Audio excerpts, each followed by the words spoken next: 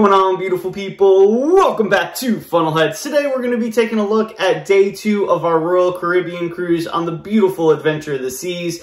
Now this was a pretty interesting day because we had left late night from Nassau, traveled to Freeport, so we woke up at sea, got to Freeport, did an awesome tour at the beach, all-inclusive, uh, you know, excursion that you'll see in the pictures and videos. And then once we were done with Freeport, we actually traveled to Coco Cay in order to see the 4th of July fireworks being um, fired off of Coco Cay, which was absolutely amazing. Uh, but first, before we get into that, if you're new to the channel or returning and you haven't subscribed yet, please consider doing so, becoming part of that Funnelhead family. We'd love to have you. Also, commenting and liking on the video is much appreciated and does truly help the channel grow, so thank you so much for doing that but let's get right into it. Now, before we show you those personal photos and videos, I just want to tell everyone how truly magical and lucky we were to be able to see the 4th of July fireworks being shot off at Coco Cay, especially, you know, first cruise back for us, and really one of the first cruises to restart after everything, you know, paused for so long. So